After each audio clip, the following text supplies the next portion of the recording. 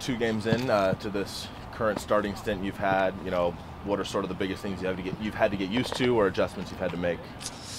I think uh, having more fans in the second game than the first game made me try to be a little bit louder. Um, but I think you know these guys, the guys in front of me, are so good. They move so well. It's just you know keeping them keeping them engaged, keeping them focused. Uh, there's so much athleticism back there that they can cover anybody.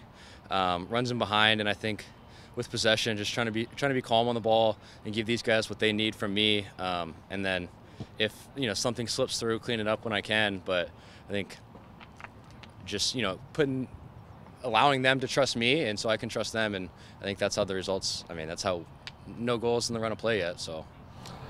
And the opponents, uh, no slouches, It's LAFC and Atlanta United. Just that sort of dawned on you that the the two games you've had to jump in are two of the more high profile, you know, high salary teams out there.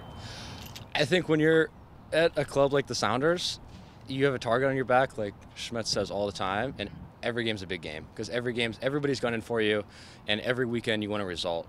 Because uh, at the end, obviously, at the end of the season, you want to be at the top, and every point matters, uh, whether it's now or at the end of the season. So I think we really focus on one game at a time, every game, uh, and I don't think you know that, that that's that's all it is is kind of nearsighted and looking looking at this weekend. Looking at this weekend. Uh, what are things that stood out to you on film from Austin, or uh, how are you guys approaching this game in terms of preparation? I think uh, you know they play a 4-3-3 similar to LAFC, so its spaces are going to be a little bit similar. Obviously, different players, different components, um, but I think yeah, and it's it's obviously a new new opponent that we haven't played. Uh, so I think doing the work uh, and then just playing our game, being strong, strong in the back, um, doing what we know how to do, and I think. Um, they're coming here and they're trying to get points off us, and you know it's our job to get three points.